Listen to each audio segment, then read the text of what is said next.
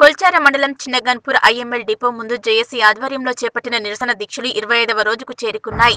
ఈ సందర్భంగా జేఏసీ నేతలు పుల్లబోయిన మల్లే సోమ నర్సింహులు లక్ష్మీ నారాయణ గౌడ్లు మాట్లాడుతూ గత ఇరవై ఐదు రోజుల నుంచి దీక్ష చేస్తున్న అధికారుల్లో చలనం లేదని ఆవేదన వ్యక్తం చేశారు.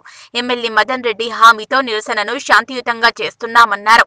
ఐఎంఎల్ డిపోలో హమాలి పనికి స్థానిక యువకులకు హక్కు అని ఐఎంఎల్ ఉపాధి కోసం న్యాయ పోరాటం చేసి హైకోర్టును ఆశ్రమి ఆశ్రయిస్తామని నేతలు స్పష్టం చేశారు. విధంగా ఉద్యమం చేయబట్టి ఈ రోజుకు ఇరవై ఐదవ రోజు అవుతుంది.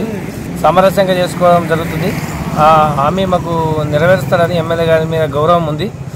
అతని హామీ కొరకు ఇంకొక వేచి చూస్తూ ఉంటున్నాం. సమరస్యంగా చేసుకోండి ఆ రోజుల పైన తిరగకండి.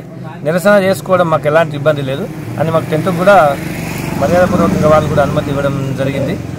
మేము ఎట్టకేలకు ఉద్యోగాలు ఇంతమందికి అమాలి పని కల్పించే వరకు మేము నిరసన కంటిన్యూషన్ చేస్తామని కల్పించే వరకు మా యొక్క ఉద్యమం కొనసాగుతుందని గత ఇరవై ఐదు రోజుల నుండి నిరార దీక్ష చేయడం జరుగుతుంది.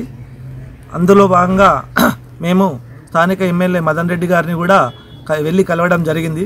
సార్ గారు కూడా మాకు మాకు స్పందించి జేసీ గారితో మాట్లాడడం కూడా జరిగింది.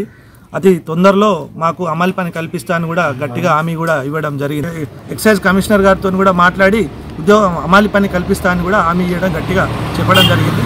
ఆయన ఇప్పిస్తాడనే ధైర్యంతో మేము ఉన్నాం. అది ఇచ్చే వరకు కూడా మేము కొనసాగిస్తామని తెలియజేస్తున్నాం.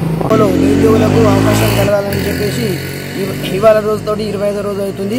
ఇరవై ఐదు రోజులైనా కూడా ఇక్కడ కూడా చలనం లేదు. మేము అన్ని డిపార్ట్మెంట్ కూడా కలవడం జరిగింది.